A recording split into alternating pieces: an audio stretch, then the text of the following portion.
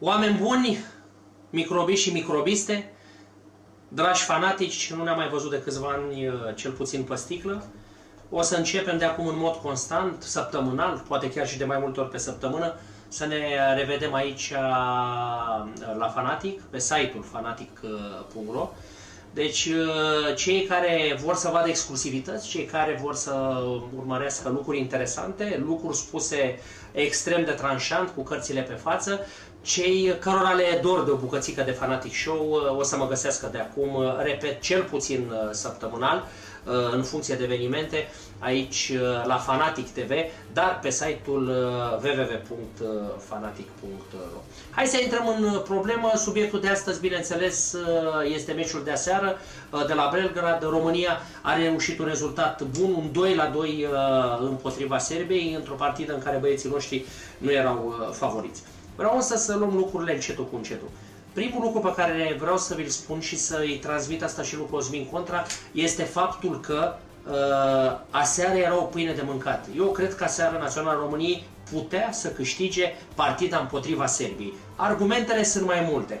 În primul și în primul rând că am întâlnit o națională a Serbiei care nu mai este Serbia de acum câțiva uh, ani de zile. I-am văzut și la campionatul mondial, personal mi s-a părut uh, o dezamăgire. Uh, Aseară, la fel, nu m-a impresionat, uh, mi s-a părut totuși ca un joc, una peste alta, destul de bătrânesc, destul, destul de static, poate cu excepție la 15-20 de minute din uh, prima repriză, iar asta cred că se datorează multor factori, tensiunile din cadrul locurilor, problemele, scindarea fanilor, faptul, știu eu, că jucători precum uh, Rukavina sau Kolarov au ajuns la o anumită vârstă, uh, sunt uh, destul de în vârstă pentru uh, fotbal în acest moment și, bineînțeles, nu mai au vână aceea uh, pe care o ai la 25-30 de ani, nu mai vorbesc de 20 de ani, de jucători cu experiență, dar jucători îmbătrâniți și Kolarov și Rukavina.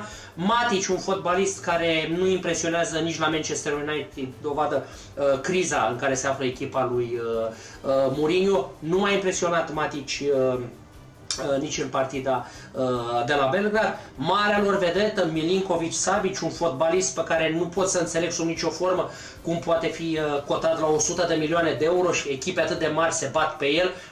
Vorbind la modul cel mai serios, dacă Milinkovic Savic este cotat la 100 uh, de milioane de euro, cât ar trebui să coste Messi? Nu știu, un miliard sau cât ar trebui să coste Messi? Sau la vremea respectivă un Loți Beloni, care după părerea mea un fotbalist poate mai complet decât Milinkovic Savic, repet, în timpul acelea, cât ar fi trebuit uh, să aibă prețul un Ladislau uh, Beloni.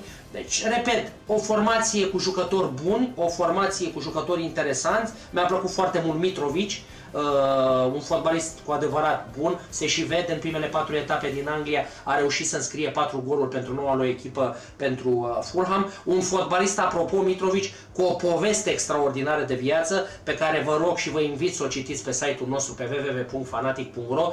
Uh, dacă nu mă făceam uh, fotbalist, în mod sigur aș fi fost un criminal, aș fi fost probabil un ucigaș în serie, uh, povestește Mitrovic, un material extraordinar pe care vreau să-l citiți.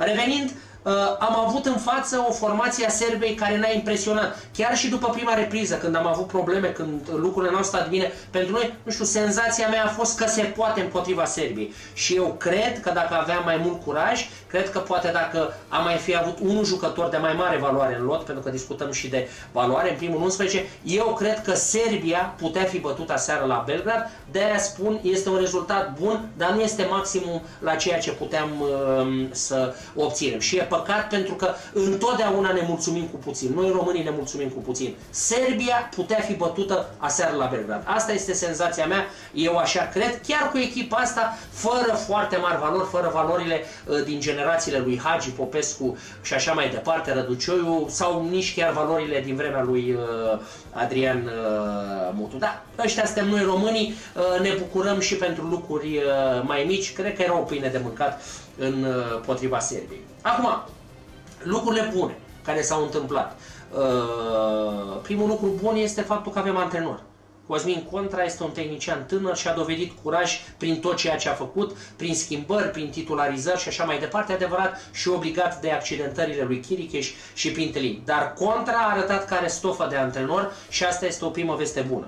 O altă veste bună este faptul că am văzut câțiva jucători uh, interesanți, unii noi, precum Drăguș sau alții, dacă vreți, reinventați, gen Chipciu, Stanciu, care a făcut o partidă excelentă, uh, Țucudean, care a făcut o partidă foarte, foarte bună și nu văd în momentul de față niciun vârf uh, care să ia locul uh, din postura de titular la Naționala României, adică nu-l văd uh, pe Cheșeru, uh, nu-l văd, uh, uh, nu știu, nu văd niciun jucător în momentul de față Uh, care știu eu să joace și să fie, să ia fața, repet, uh, lui Țucudean, cred că este vârful uh, de care noi aveam nevoie. Nici Bogdan Andone, chiar dacă joacă în străinătate, nu cred că este un fotbalist mai în formă decât Țucudean. Deci avem vârf, asta este un lucru foarte bun. Alt lucru excelent este faptul că după 4 ani, după 4 ani am reușit să marcăm pentru prima oară un gol din fază fixă. Asta s-a întâmplat acum 4 ani de zile, am reușit acum prin reușita lui uh, Țucudean. Apoi, față de meciul de vineri cu Muntenegru, când partida s-a terminat cu Muntenegru atacându-ne, cu Muntenegru în careul nostru, acum meciul de la Berga s-a terminat cu noi atacându-i pe sârbi, noi în careul sârbilor. Adică sunt niște lucruri foarte, foarte în regulă care s-au întâmplat. Nu trebuie să ne entuziasmăm, nu e de făcut nuntă în momentul de față. Primele 40 de minute au fost modeste, a fost o națională a României timorată, dar ne-am revenit. La pauză s-au întâmplat uh, niște declicuri, ne-am revenit, am avut o a doua repriză pe locuri excelentă, uh, o a doua repriză în care chiar le-am făcut probleme sârbilor, cred eu ușor surprinși de uh, replica noastră. Repet, nu trebuie să facem nuntă, nu avem de ce să facem nuntă, e un joc bun al naționalei și suntem pe un uh, drum bun. Uh, în ceea ce privește pe Drăguș, uh, Drăguș e un jucător interesant.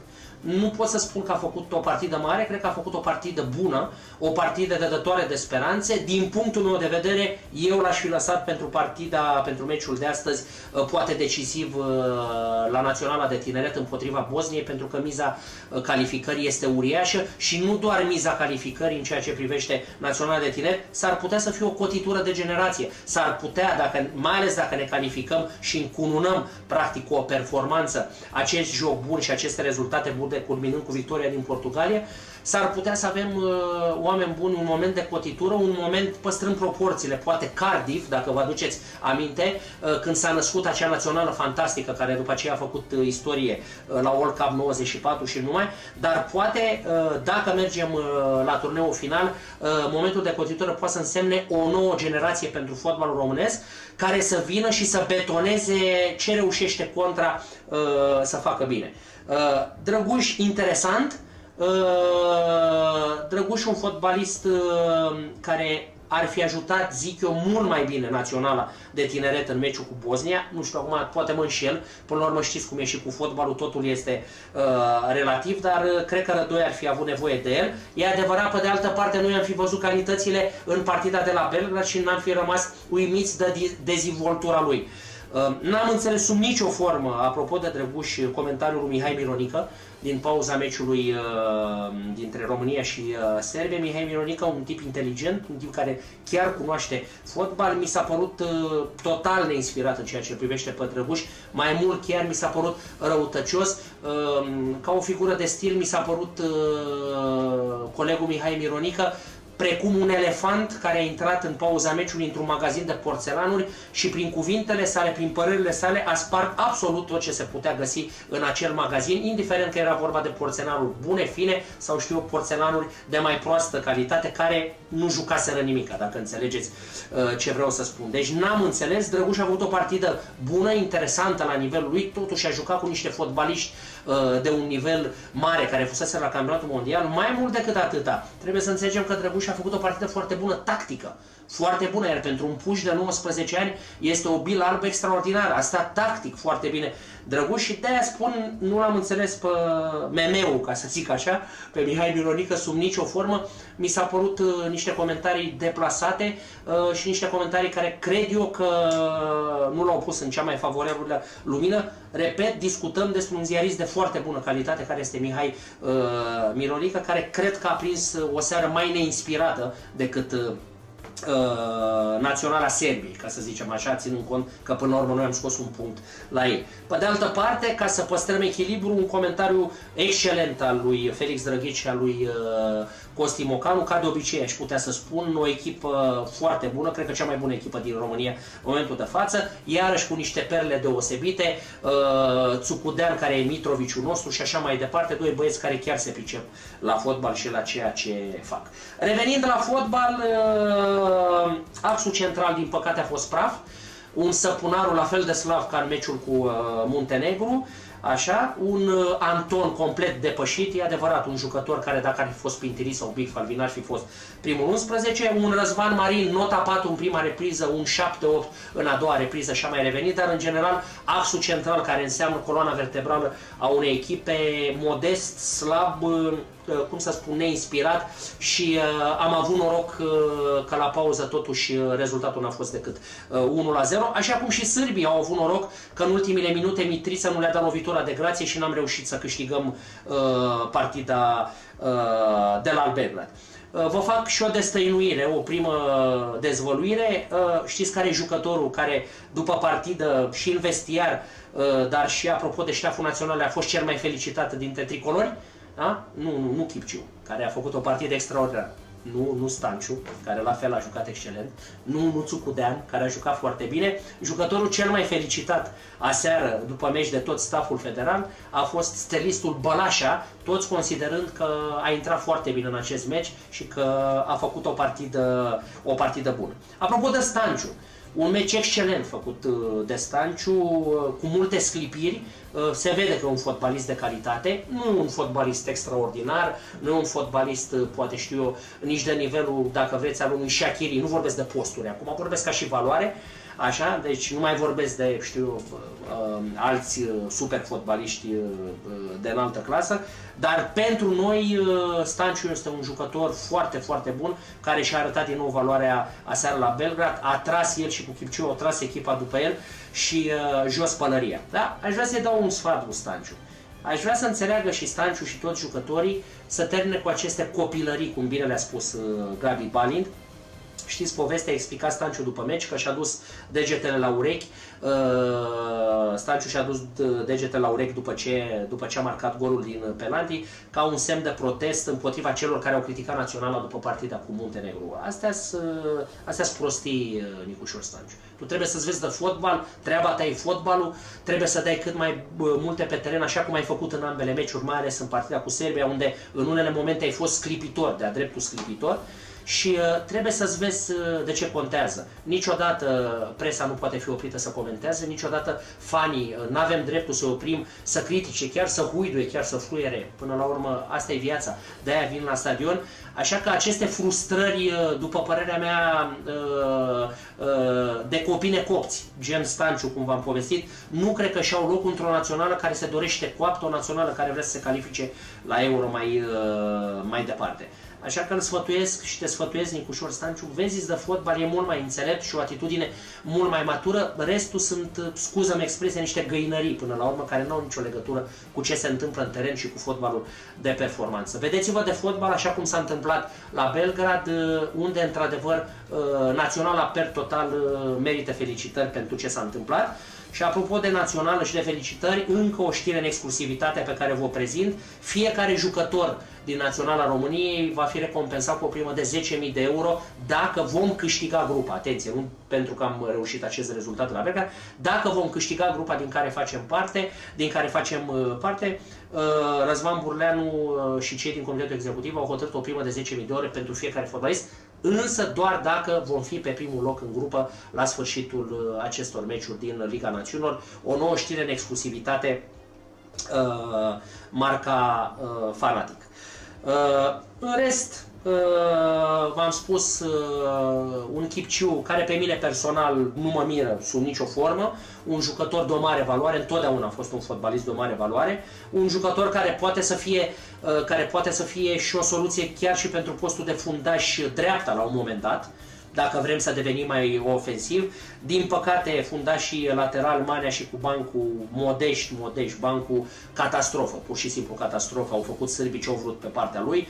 De-aia spun, uh, Chipciu ar putea fi o soluție și, uh, și aici, pe postul de fundaș dreapta. Un jucător care mie personal întotdeauna mi-a plăcut, pe lângă caracter, cu foarte, foarte, foarte multă personalitate. Iar faptul că am terminat jocul în careul sârbilor uh, este o bilă albă uriașă pentru noi, și băieții noștri chiar merită felicitați.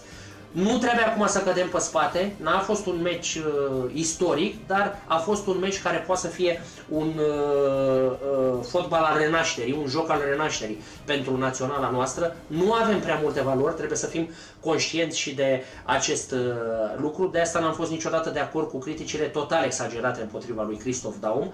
Un antrenor care, într-adevăr, până la urmă nu și-a făcut treaba, dar un antrenor uh, exagerat, uh, până la, uh, criticat la un moment dat până la nesimțire, după părerea părerea mea, uh, total excesiv aici în uh, România. Nu avem fotbaliști de mare, mare calitate. Sperăm însă că o să vină din spate prin această națională din tineret, prin munca unor cluburi, prin munca lui Gica Hagi, care face o treabă absolut fabuloasă și pentru care jos pădăria. Gica, te salut și îți spun că face o treabă, aș putea spune chiar istorică așa una peste alta, dar uh, eu cred că se poate construi, avem pe ce și foarte important, avem un antrenor cel puțin interesant. Nu știu cât de mare e valoarea lui Cosmin uh, uh, Contra, dar mie mi se pare Cosmin Contra un antrenor extrem, extrem de interesant. Avem motive să privim cu optimism în sfârșit după o lungă perioadă spre viitor, să sperăm că n-a fost doar un foc de artificii și să ținem pumnii diseară pentru uh, tricolorii mici, să reușească să bată Bosnia și să vedem un turneu final, chiar dacă la tineret ar fi o mare realizare. În final, vă promit că voi fi din ce în ce mai des aici, la Fanatic TV, pe www.fanatic.ro. Așa cum mă știți, uh, după atâția ani este practic uh, prima intervenție în direct video, pe sticlă, mă rog, video, ca să spun așa, Uh, încetul cu încetul vă voi spune lucruri tot mai interesante, tot mai exclusive, uh, lucruri, repet, marca Fanatic, dezvăluiri, marca Horie Ivanovici, așa cum v-am obișnuit o bună perioadă de timp atunci când aveam emisiunea la uh, televizor. Și la final uh, și o lovitură pe care zic eu, uh, site-ul Fanatic o dă. Uh, dacă cluburile fac transferuri, facem și noi uh, transferuri. Vă anunț cu mare plăcere și uh, suntem extrem de onorați că începând uh, de luna viitoare, de pe 17 septembrie, uh, cunoscutul Andrei Vochin se va alătura echipei noastre aici la Fanatic și îi veți citi părerile și analizele exclusiv pe site-ul www.fanatic.ro. Uh, el va deveni oficial începând din 17 septembrie editorialistul site-ului fanatic.ro și repet, suntem foarte, foarte fericiți că Andrei se alătură echipei. Primele concluzii, primul editorial, primele primele păreri ale lui Andrei Ivochin le veți putea uh, citi luni, după lunea viitoare, după derbiul campionatului de duminică dintre CFR Cluj și, și uh, uh, FCSB. Îi mulțumim lui Andrei că a ales să ni se alăture și promit că o să devenim un site extrem, extrem de puternic, un site serios, un site solid, care vom încerca să oferim numai informații credibile către dumneavoastră, uh, către cititori. Nu pot să închei decât într-un singur fel, în stilul fanatic pe care vi-l aduceți aminte, să facem show.